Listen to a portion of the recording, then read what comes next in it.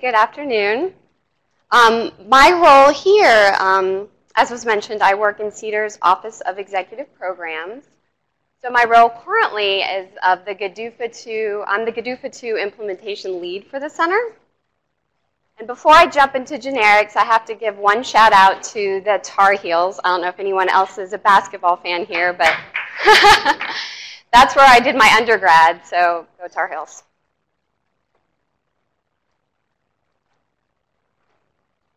So today I'm going to briefly summarize the reauthorization process, basically how we got from GDUFA 1 to GDUFA 2, or how we're going to get there. I'll discuss some of the highlights from the GDUFA 2 commitment letter, and I'll point out mainly some of the differences between GDUFA 1 and GDUFA 2. So please note that my talk is not comprehensive. I'm not going to talk about all the parts of GDUFA 2, just the highlights. And Donald Park spoke earlier. He did a great job talking about the fees portion, so I'm not going to cover the fees at all.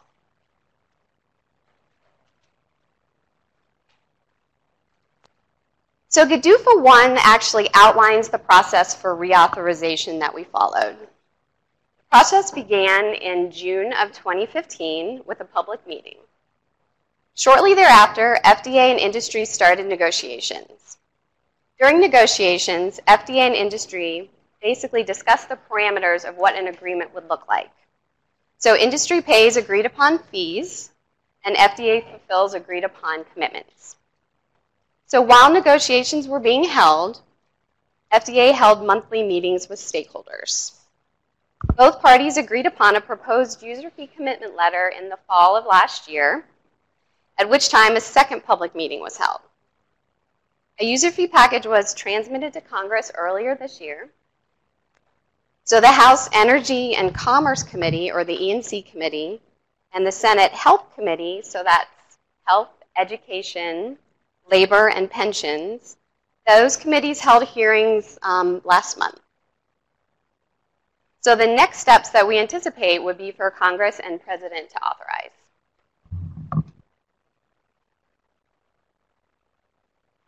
So let's start with the submission review performance goals. I know some other speakers have touched a little bit on this, so um, some of it's a bit of a review. GDUFA 1 ANDA review goals were complex, and there were differential treatment for different cohorts and tiers of submissions. In addition to informal target action dates, or TADs, these were given out to thousands of submissions, which added an additional layer of complexity. In GDUFA 2, all ANDAs and ANDA amendments fall within a single consolidated review scheme. A new proposed um, goal scheme, this new proposed goal scheme simplifies and streamlines the program administration. So we're going to hope the, the aim there is to improve review efficiency. So FDA can focus more on the ANDA review and less on administering the so all performance goals are for FDA to act, to review and act on 90% of applications, supplements, and amendments within a specified time. So GDUFA 2 proposes standard and priority review timelines. The review timeline for a standard original ANDA submission is 10 months. So this is unchanged in, from GDUFA 1. The review timeline for a priority original ANDA submission is eight months.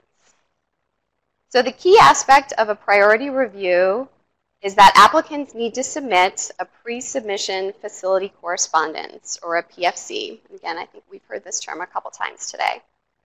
So this needs to be submitted to FDA two months prior to submission of the ANDA. Now this aspect is new for GDUFA 2.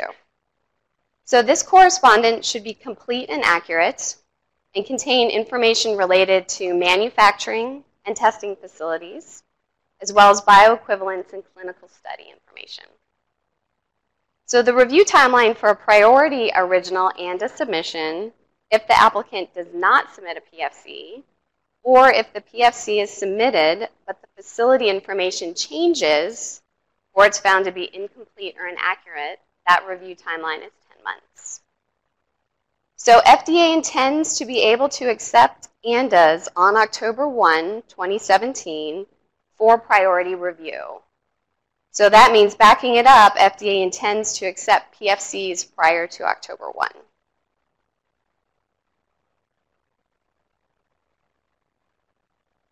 So the review timeline for a standard major amendment is 10 months. If the pre-approval inspection, if a pre-approval inspection is required, and eight months if a pre-approval inspection is not required. So this is unchanged from GDUFA 1. The review timeline for a priority major amendment is eight months. Again, um, if a prior approval inspection is required and the applicant submits their PFC two months prior to the submission of their ANDA. The review timeline for a priority major amendment is six months if a pre-approval inspection is not required. So the review timeline for a standard or priority minor amendment to an original ANDA is three months.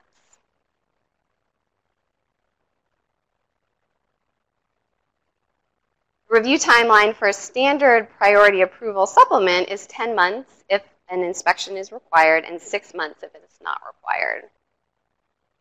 And the review timeline for a priority prior approval supplement is 8 months if inspection is required and the applicant submits a PFC.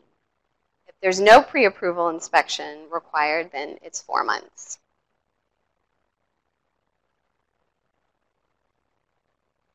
The review timelines for a major amendment submitted to a prior approval supplement are the same as for those for a prior approval supplement.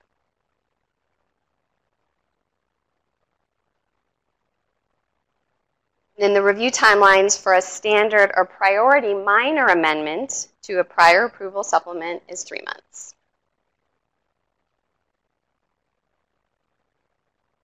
So shifting gears here, the proposed GDUFA 2 ANDA review procedures are much more specific and programmatic than corresponding features from GDUFA 1. The idea was to refine and enhance each stage of the ANDA review process from start to finish. So some highlights of the review program enhancements include, in the FDA acceptance letter, the letter will state whether the original ANDA or, a, or the prior approval supplement is subject to a standard or priority review. FDA will communicate if the review classification changes from standard to priority. Note that once an ANDA or a prior approval supplement is classified as having a priority review, that classification will not change until FDA takes an action. FDA will issue information request information request letters as was done previously. What's new for GDUFA 2 is that FDA will issue a discipline IR letter or a discipline review letter from each review discipline as soon as the discipline has completed its review at or about the midpoint of the review. So this will promote transparency and communication between FDA and applicants and provide more opportunities for applicants to address deficiencies during their current review cycle. In the event FDA issues a complete response letter, applicants may request a post-complete response letter telecon. FDA will schedule the telecon within 10 days and then hold the telecon within 30 days. So rounding out some of the enhancements from the ANDA review program, GDUFA 2 proposes a 30-day goal date for FDA to respond to a request for formal dispute resolution. GDUFA 1 had aspirational goals for formal dispute resolution, so there's a difference there.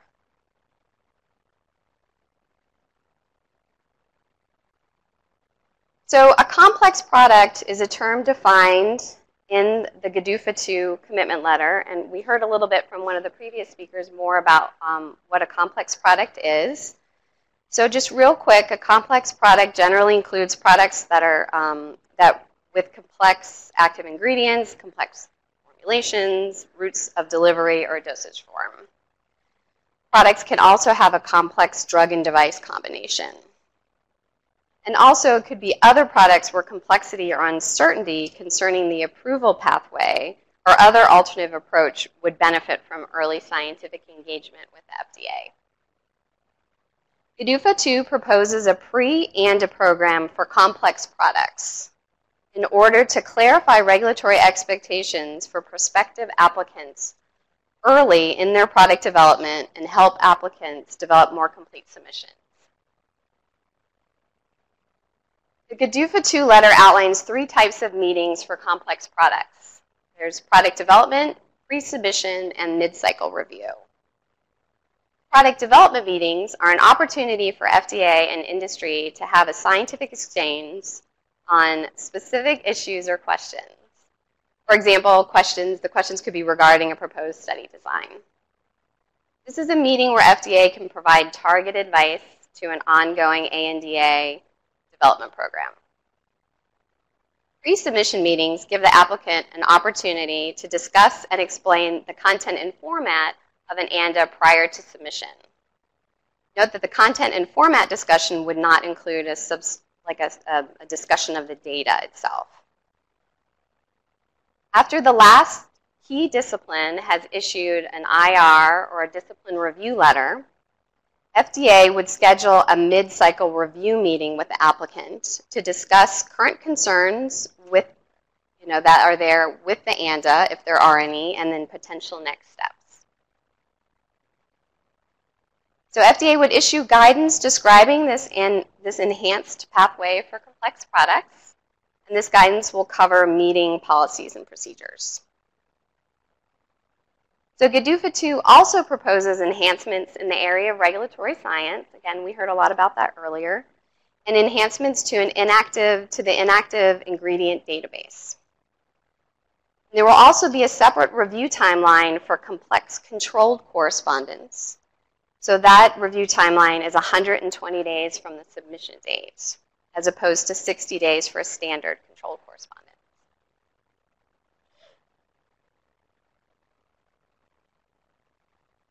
GDUFA 2 proposes some targeted improvements to the DMF review, so that's Drug Master File review. FDA would perform a complete assessment for 90% of type 1 API, active pharmaceutical ingredient, DMFs within 60 days of the latter of the DMF submission or the DMF fee payment. FDA would ensure that DMF review comments submitted to the DMF holder are issued at least in parallel with the issuance of the review comments related to the DMF for the ANDA. GDUFA 2 outlines procedures and timelines for telecons and email exchanges to clarify DMF first cycle review deficiencies. Once a DMF has undergone a complete review, and has no open issues related to the referencing ANDA, uh, FDA would issue a first adequate letter. Once a DMF has undergone a complete review and the ANDA referencing it has been approved or tentatively approved, FDA would issue a no further comment letter. By, 20, by fiscal year 2019, FDA would issue a guidance on post-approval changes to a type 2 DMF and submission mechanisms for ANDA applicants who reference it.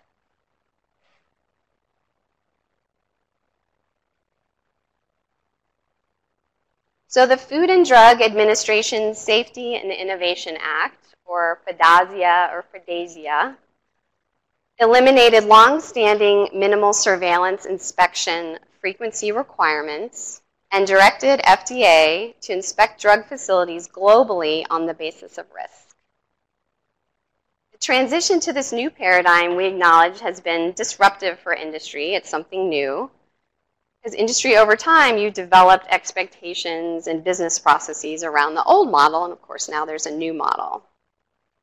So while facility assessment cuts across multiple FDA drug programs, GDUFA 2 contains several facility-related enhancements targeted specifically to the generic drug industry. So to mitigate export-related challenges identified by U.S.-based pharmaceutical, active pharmaceutical ingredient manufacturers, FDA would issue guidance explaining the risk-based site selection model used to prioritize facilities for surveillance inspections. So earlier today, too, we heard um, from OPQ a little bit about their risk-based site selection. FDA would also undertake outreach to foreign regulators so that they can understand our model. And FDA will also issue communications to foreign regulators conveying the current compliance status of U.S. manufacturing facilities.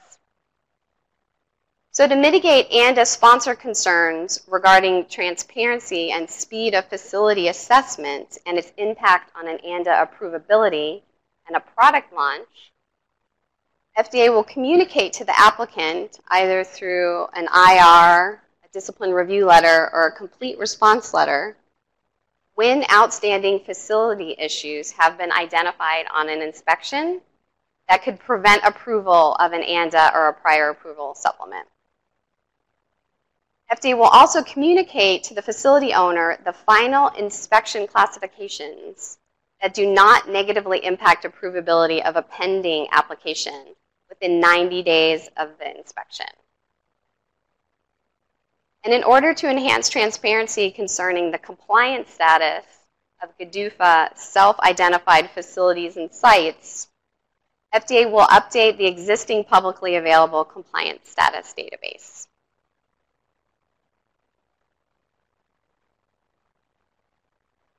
So the final chapter of the GDUFA 2 commitment letter deals with accountability and reporting enhancements.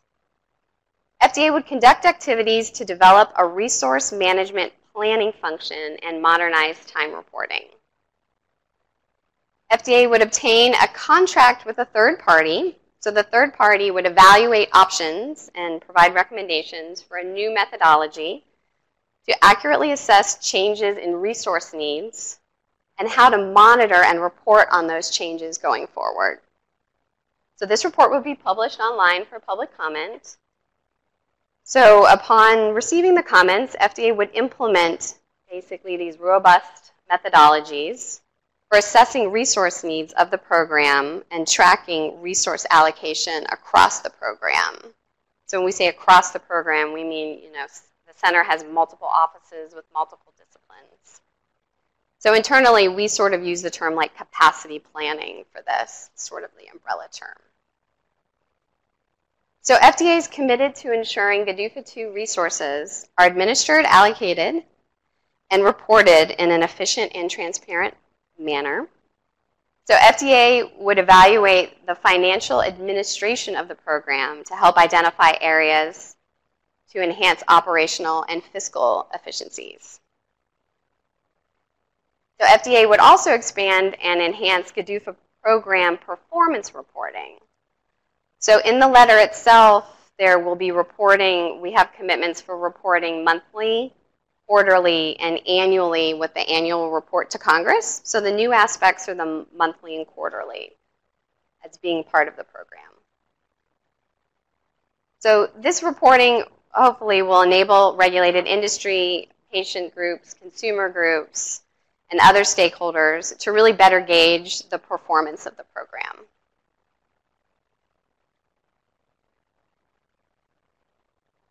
So yes, thank you. So that's those are the highlights from GDUFA 2. Thank you.